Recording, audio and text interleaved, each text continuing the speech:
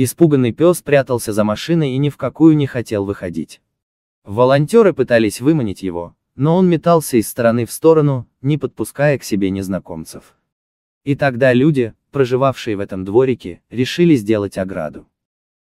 Пес был вынужден сдаться и робко встал у машины, когда волонтеры получили звонок с просьбой помочь бродячей собаке, они тут же выехали по указанному адресу.